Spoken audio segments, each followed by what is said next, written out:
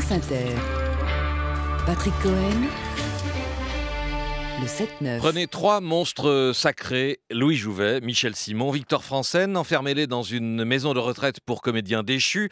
Imaginez Jouvet en don Juan vieillissant, perdu dans des retrouvailles grinçantes avec les actrices qu'il a eues comme maîtresses et les acteurs qu'il a cocufiés.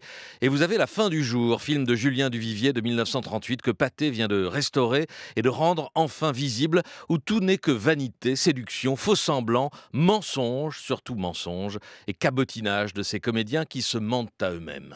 Je me souviens quand je chantais l'opéra un soir, c'était à Metropolitan Opera de New York. Metropolitan Opera à, New York. Non, non, tu as raison, c'était à l'opéra de Chicago. oui. Une admiratrice m'a jeté une gerbe d'orchidées. Je les ai comptées, il y en avait 74.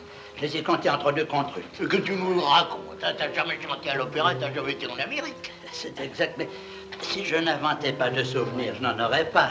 Je ne vous demande pas de me croire, je vous prie de m'écouter. Pour une fois qu'il y a un public. Je t'adore, Cabrissol. Tu mens avec franchise, bravo. Merci. Et toi, tu as été en Amérique? Non, mais tiens, voilà une histoire vraie.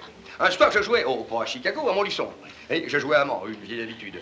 Après l'acte de la rupture, dans la salle, une femme se tire une balle dans le cœur. C'est drôle, n'est-ce pas, hein? C'est très amusant. Et Elle s'était substituée dans son esprit à l'actrice qui jouait ma maîtresse. Elle ne voulait pas survivre à cette rupture. Comment trouves-tu celle-là, Cabrissade hein? Incroyable. Elle est morte. Non, non, mais son mari a demandé le divorce.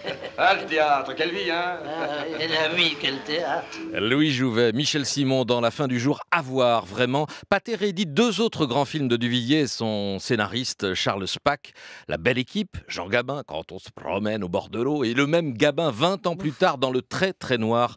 Voici le temps des assassins dont je pourrais vous parler longtemps.